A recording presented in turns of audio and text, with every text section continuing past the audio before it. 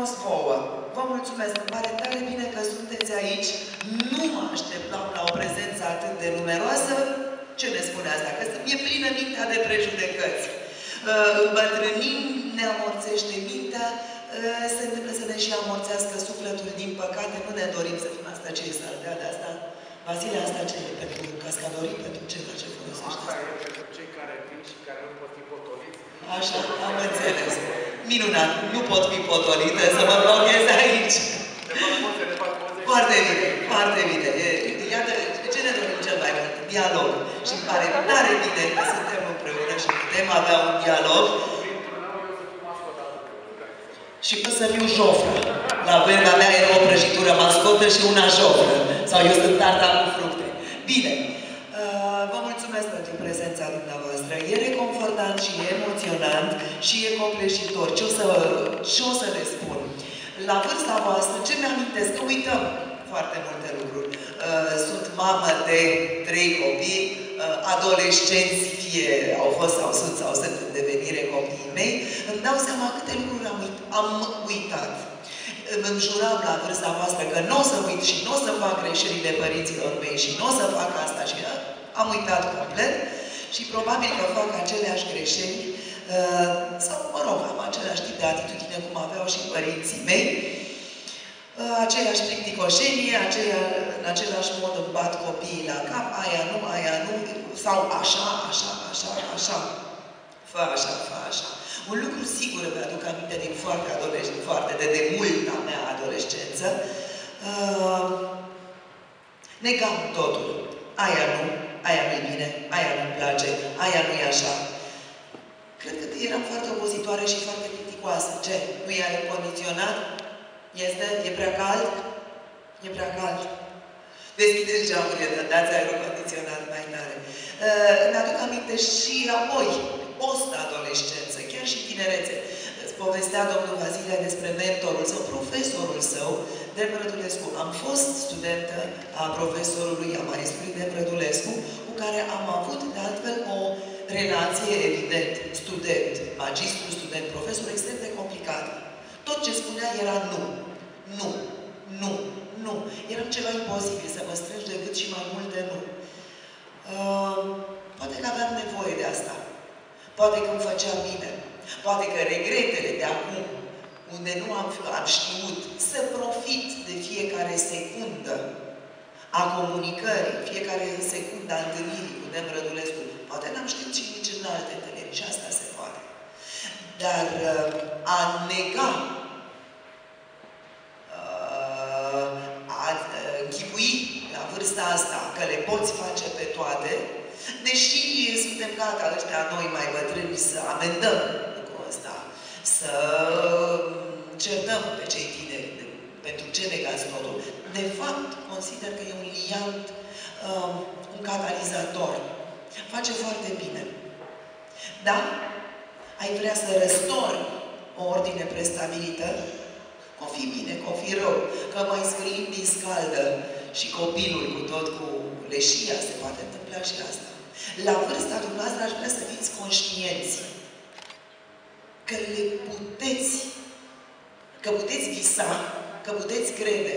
E absolut justificat, e absolut legitim. Să crezi că le poți face pe toate.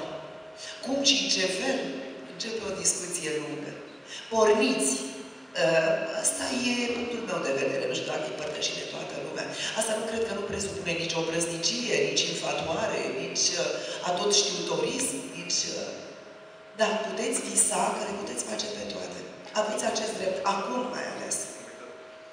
Aveți șansa, aveți norocul, e anotimpul vostru. Culegeți roadele acestui anotimp în care vă puteți permite să visați și chiar să credeți că le puteți face pe toate. Un mic amănunt ar mai fi nevoie de mijloace, de niște unelte. Hmm, un fleac. Așa e, un fleac. Cum pot să le am, să le fac, să le știu pe toate? Care sunt uneltele de care le am nevoie pentru a pune repede și în practică visul ăsta curajos, obraznic chiar de multe ori. Hmm? Cum? Banii? Credeți? Chiar credeți sincer că având bani le puteți face pe toate? Sunteți medic, aveți toți banii din lume. Sunteți acum medic. Aveți toți banii din lume. Puteți salva o viață? Fără știință, fără cunoaștere, fără flair, fără intuiție. Fără intuiție, da, intuiție. Toți banii, ce resurse vreți dumneavoastră, ce faceți cu ei? Dacă nu aveți mm, cunoaștere, respectul, comunicarea, sunteți cel mai mare mm, bogătan. Cum puteți și la modul cel mai onest vă doriți să vă exercitați onestitate profesională, aceea de medic, de doctor, de chirurg, de uh, pediatru. Toți banii din lume, cum salvezi viața unui copil? Cum? În ce fel? Care ar mai fi alte mijloace? Cunoaștere? Respect de sine? Preocuparea perma? Poate, poate, dacă știți mai bine, vă rog să mă contraziceți, să mă întrerupeți, uh, putem purta un dialog. Și mai ales, cred eu, comunicare. Cred că ar trebui, sau ar trebui, după părerea mea, după gustul meu, comunicarea ar trebui să funcționeze pe toate palierele, în toate rangurile, în toate domeniile vieții profesionale și personale. Personale și profesionale. Cum? Am, am dat un exemplu, am luat un exemplu la întâmplare. Pediatru, m-am luat sărăcuț, bietul om. L-am luat acum și mitraliez. Ce mi-o fi făcut? Ce rău mi-o fi făcut? Mama se întreabă cine m-o fi pus să vorbesc. Vorbiți. Și nu înseamnă că eu condamn. N-am, nici n-am căderea, nici n-am dreptul, nici n-am știință. Și nici n-ar fi interesat pentru un dialog real pe care mi-l doresc al avea. Gata? Eu mai știu să folosesc și tehnica vocală. Apropo de asta, puteți să tăiați microfoanele cât vreți. Nu e nicio problemă. Să vorbim și așa. Mă rog, aici am jucat. În aula asta am jucat. Aici am jucat, acolo sunt o scenă, uite, cadeta asta. Jucam de scenă și uh, am jucat spectacole și lucrurile au funcționat. Da, vorbeam de comunicare, vorbeam de dialog, uh, un lucru, o trăsătură, un dat, un bagaj, un plus pe care îl aveți acum. Și constat lucrurile astea. Dumneavoastră comunicați între voi. În, într-un dialog real. La, de ce? La vârsta asta? Pentru că aveți nevoie să comunicați? Pentru că e un tumult de sentimente, de uh, emoții, de păreri, de opinii pe care trebuie să le împărtășiți. Pro, contra, n-are importanță. Păstrați-vă, păstrați-vă cât se poate, așa cum se poate. Acest dat, nevoia de a comunica, de a împărtăși, de a vă contrazice.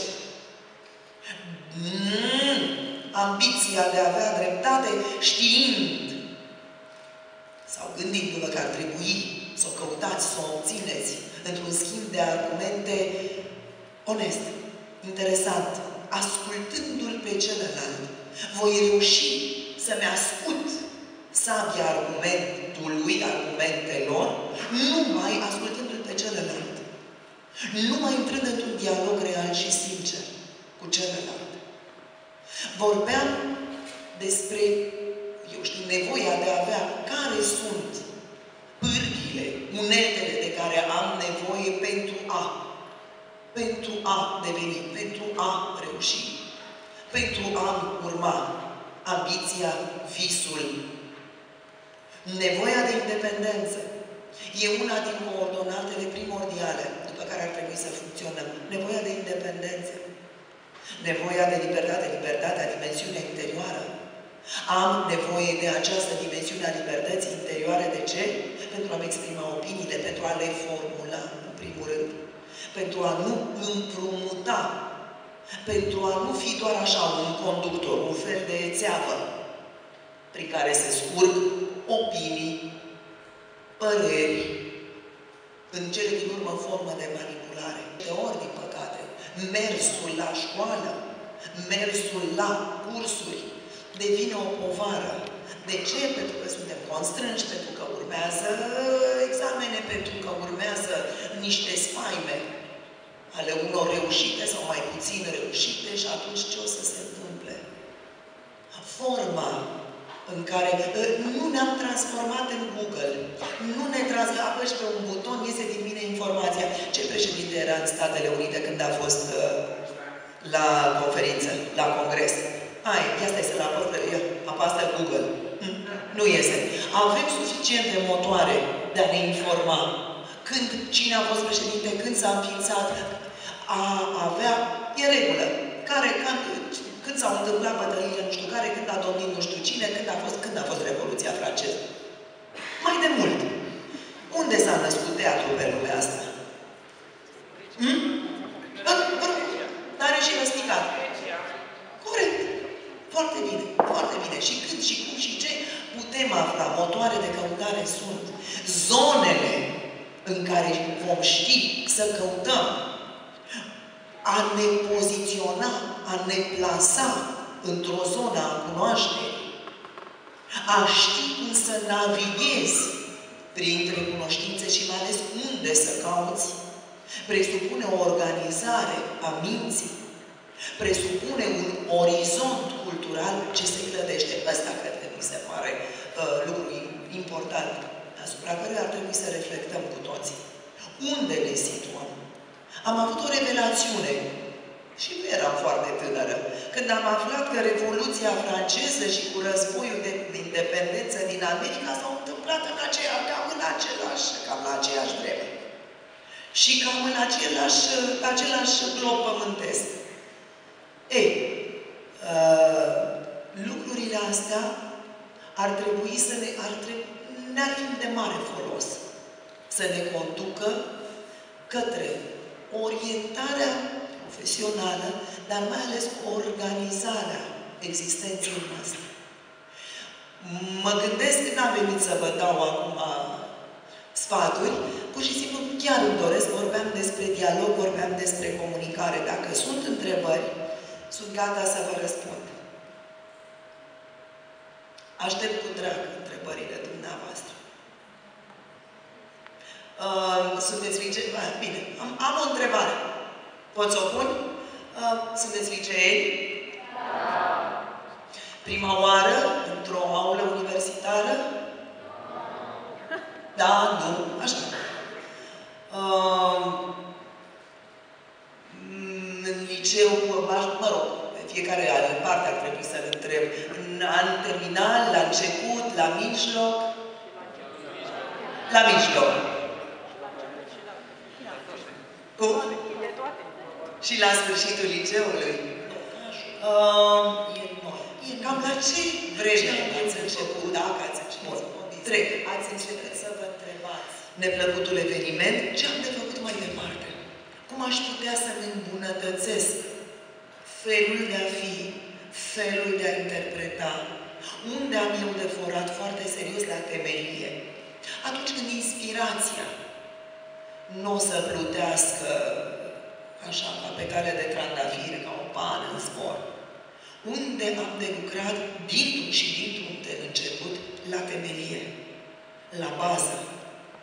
Cel mai minunat, cea mai minunată construcție, edificiu, castel, cele mai frumoase creneluri, turnuri, uh, steaguri, nu pot flutura pe o clădire care nu are o temelie extrem, extrem, extrem de solidă. Și temelia se clădește cu greu. Se clăd... Și nu se vede. Și nu se vede, e adânc îngropată în pământ, într-un sol pe care îl răscolim. Bine, vorbesc așa într-un fel metaforic. Îl răscolim, uh, escapăm bine, săpăm bine și acolo turnăm beton, turnăm o temelie foarte serioasă, ceea ce mă gând și mă gândesc acum la ceea ce înseamnă educație, la ceea ce înseamnă cunoaștere, la ceea ce înseamnă lectură, dar mai ales, mai ales, mai ales împărtășirea cunoștințelor. Ceva? Da. să, să-mi permit, să pot să-mi permit să îndrăznesc în dreptul vostru, să o întreb pe doamna Maia, cum a fost lucrul cu uh, Mel Gibson în Patimile lui Isus, pentru că uh, niciodată n-am discutat asta și profit de momentul ăsta și pe relația cu întrebarea cu peștișorul, dacă ați mai fi la vârsta lor, ați pleca din țară sau ați rămâne la aici să faceți ce ați făcut deja? 2, 3, 10, 2, 10, 2, 10. Și asta e o întrebare foarte serioasă. Am să încep cu sfârșitul. Poate că nu mai știe nimeni despre ce film vorbim, dacă, nu mai, dacă atât de puțin mai cunoaștem despre Dem Rădulescu, mi-e teamă că nici nu mai știm despre ce film vorbim acum. Nu-i nimic. Sunt, exist. Așa. Uh, mi s-a pus de, de, de multe ori mi s-a pus această întrebare. Dar de ce rămâneți în țara asta, doamnă? În mod deschis, în interviuri, out of the record sau înregistrat, mi s-a pus această întrebare și cel mai important de știut este că mi-am pus această întrebare. Îmi doresc să fiu aici? Uh, am primit, nu de foarte multe ori, de câteva ori, o dată de mai multe ori, altă dată de mai puține ori și o situație nu seamănă cu cealaltă. Propunerea de a exista pe un termen mai lung sau mai scurt sau mai foarte lung într-un alt loc.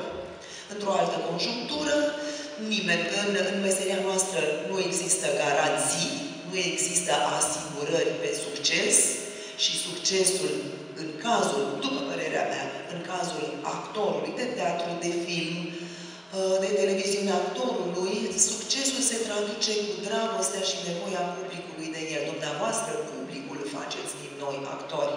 Noi suntem datori să uh, lucrăm, să săpăm, să ne perfecționăm mijloacele. Suntem datori cu foarte multe lucruri. Noi avem numai datorii, dar dumneavoastră, cred eu, ne faceți din noi actori. Prin ochii dumneavoastră, prin percepția dumneavoastră și mai ales prin atenția dumneavoastră, noi devenim actori. Răspunsul este uh, m-am întors de fiecare dată aici, pentru că m-am simțit iubită aici. Asta nu înseamnă că n-aș fi fost iubită și în altă parte. Nimeni nu poate, nu-ți poate da garanții în iubire. Cred că aici, măcar aici, suntem de acord. La iubire, cel puțin dumneavoastră sunteți experți. Stau în fața unor experți în ceea ce privește sentimentul de iubire. Și aici nimeni nu mă poate contrazice. E corect, domnul Vasile? Corect. Deranjez? Las-o așa. Da, în materie de iubire, într-adevăr, sunteți experți. Nimeni nu-ți poate oferi garanții. Dar m-am întors aici și mă întorc aici și mi-am crescut copii aici și visez aici și înjur aici. În jur, dumneavoastră n-ați înjurat niciodată, cred că nici nu înțelegeți despre ce vorbesc. Așa e, da, mă rog, vorbesc despre niște chestii abstracte. Uh, pentru că mă simt iubit aici, pentru că iubesc aici, pentru că e o zonă a energiei ce trebuie foarte tare. Pentru că de un lucru pot să vă asigur, e nevoie de dumneavoastră aici. Și ce e asta, muncă voluntară? N-am înțeles. Uh, nu, dar nu știu, la întrebarea asta nu am răspuns.